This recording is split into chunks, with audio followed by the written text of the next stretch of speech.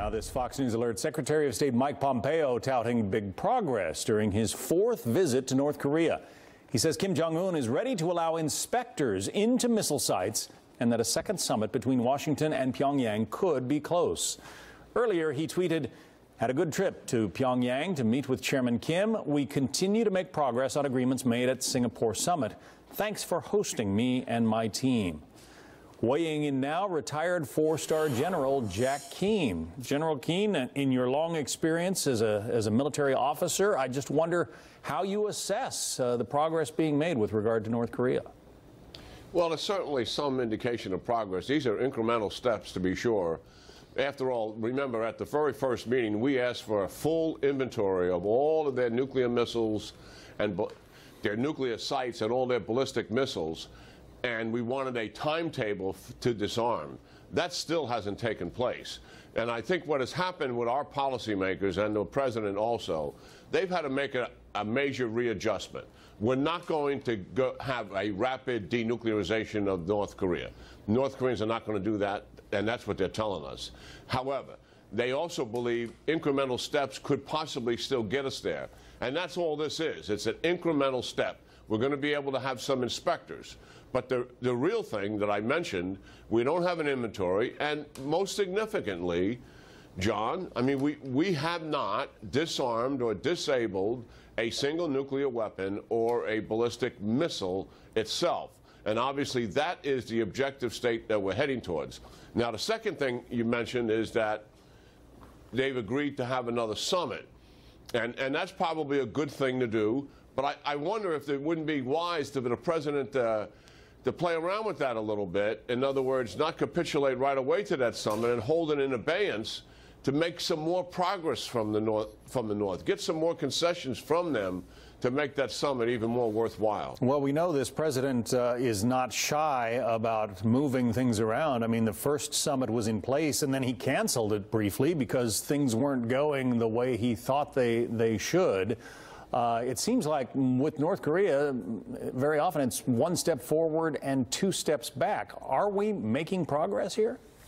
Yeah, I mean there is there are there are signs of progress, and this is. I mean, getting inspectors in, but it's it's not a big step. It's it's it's a small step to be sure. I mean, what the what the North Koreans are likely telling our policymakers is that look at you can't expect us to give up all of our weapons when we don't have any real assurances that our security is going to be guaranteed as a result of it. And that's why we've had nuclear weapons to begin with. And, and, for us to have that guarantee, we need to have trust with you. And we can't establish trust with you overnight. This is going to take some time.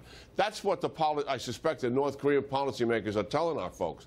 But also, we got to be aware of this, John. There's a thin line between that statement and what that portends, and also gaming us and playing us to get concessions from us and give up nothing, which is what they have always done in the past. The Korean War is still officially on. There was an armistice, not a peace treaty.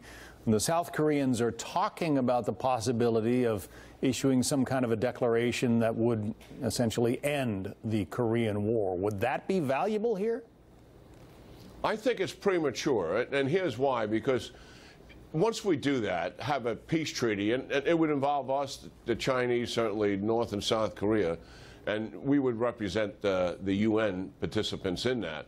Uh, the reality is, once we do that, I believe what the North Koreans would come back with is very strong and say, well, now that we have this treaty and peace and some degree of reconciliation, why do you need to have your troops in South Korea? And the troops in South Korea are a significant leverage for the United States here. They're obviously there for security purposes, number one, but they're also very much an item of leverage in negotiations. And I don't think we're at a place where we sign that peace treaty until we're well into the denuclearization process and it's obvious that there's going to be North and South reconciliation.